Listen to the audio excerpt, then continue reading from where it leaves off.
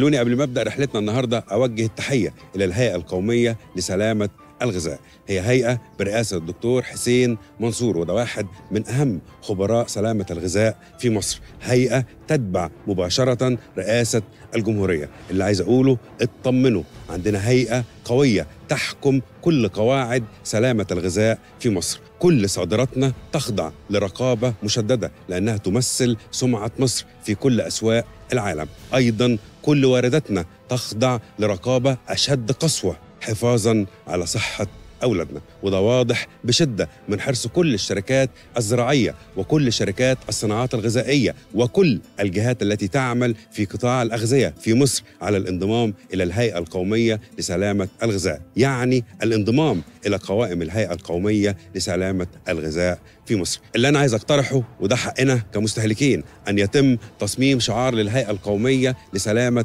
الغذاء ويتم الحصول عليه من الهيئة مباشرة أو من خلال فروعها في المحافظات وهذا الشعار يوضع على كل منتجاتنا في السوق المحلي. من حقي كمستهلك إن أشتري الحاجة اللي خضعت لإشراف الهيئة القومية لسلامة الغذاء. أنا بدفع فلوس ومن حقي اخد سلعة آمنة على أولادي وأسرتي. كمان أطالب بتعيين مشرفين في كل مصانعنا في كل محطات الحاصلات الزراعية.